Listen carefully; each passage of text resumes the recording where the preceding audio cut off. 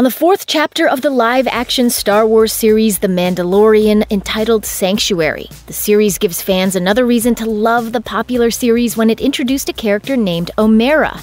Here's why Julia Jones, the actress who plays her, looks so familiar.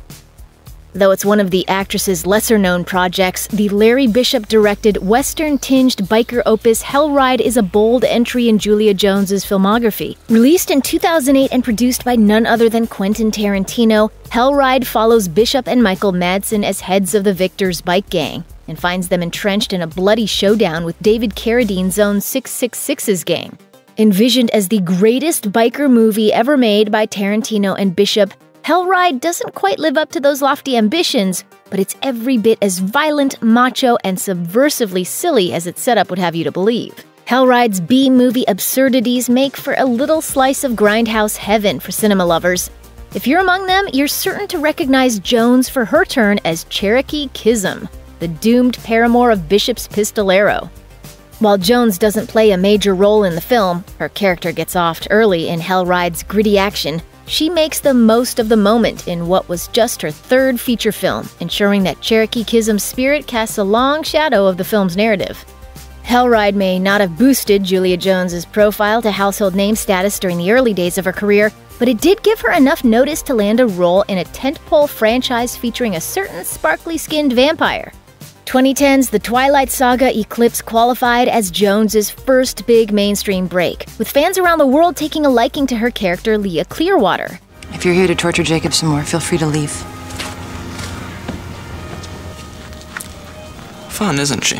As a refresher, Eclipse was the first Twilight film to really spend some time with the vampire hating, shape shifting wolf folk that Bella's bestie slash would be Beau Jacob ran around with through much of the series.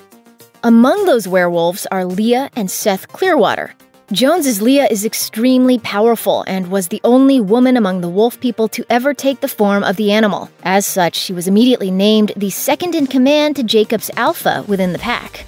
Though there were a lot of overarching narratives and tons of intricate lore going on in the film, all you really need to know about Eclipse is that Julia Jones was in it and that she was really good in what amounted to a relatively thankless role that she continued to play over the course of the final two, increasingly ridiculous Twilight flicks Breaking Dawn, Parts 1 and 2.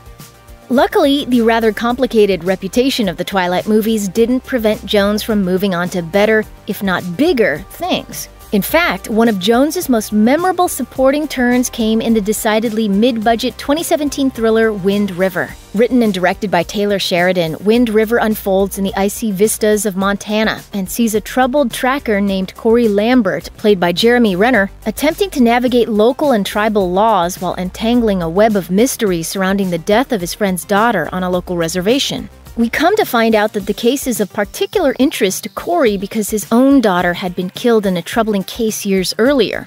In hopes of providing some answers for his old friend, Corey tackles the case head on and stirs up some still raging emotions within himself along the way. Those emotions are never closer to the surface as they are when Corey visits Wilma, the mother of his deceased child, and his ex wife, who is memorably played with raw nerve energy by, you guessed it, Julia Jones. You got blood on your shirt. Yeah, I just came from work.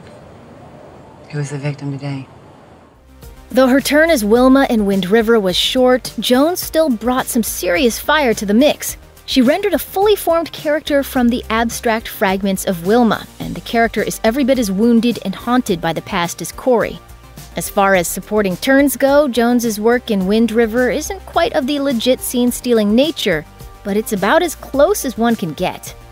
The Mandalorian is hardly Julia Jones's first foray into television. She got her first taste of the small screen big time with a four episode arc as Dr. Kaya Montoya on the final season of ER back in 2008. Jones also delivered solid work as Gabriella Langton on A&E's Western series Longmire, and can currently be seen as Stephanie Littlecrow on the Billy Bob Thornton starring legal drama Goliath. Perhaps Jones's most memorable TV appearance was as Kohana on the second season of HBO's daring, perplexing sci-fi western Westworld. As complex and frustrating as Westworld Season 2 often was, when the series took a moment to slow down, it offered wildly inventive, vividly rendered, jaw droppingly beautiful glimpses into some of the more intriguing corners of Westworld at large. One such corner belonged to the doomed park's indigenous people, the Ghost Nation. And one of those astounding moments came on the eighth episode of Westworld Season 2. Entitled Kiksuya, the episode proved a bold narrative diversion from the relative chaos of the season and followed Zahn McClarnon's Akecheta as he narrates the Ghost Nation's rise to consciousness. He does so through the telling of his own dramatic story, a harrowing one of a love lost and then tragically found. That story finds Akecheta falling passionately in love with fellow Ghost Nationer Kohana, only to have her ripped away from him after both characters are reprogrammed by the park's storytellers. As the story progresses with Akecheta and Kohana's lives crossing in increasingly devastating fashion, it does so with almost no dialogue from Kohana, a fact that makes Jones's silently emotive work in the role all the more remarkable, and that adds unimaginable weight to her reading of the episode's signature line. Mechante ki hayayo. Mechante ki yuyayo. Check out one of our newest videos right here. Plus, even more Looper videos about your favorite movies and TV shows are coming soon. Subscribe to our YouTube channel and hit the bell so you don't miss a single one.